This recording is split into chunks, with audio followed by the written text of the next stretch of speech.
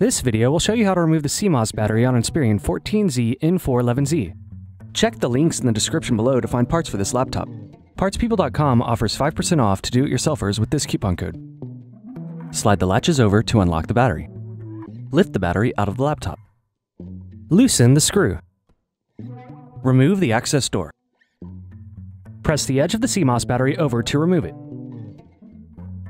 If you need to find the part, check out the link in the video description and let's get started with the installation. Replace the CMOS battery. Replace the access door. Tighten the screw. Place the battery into the laptop and press down to lock it into place.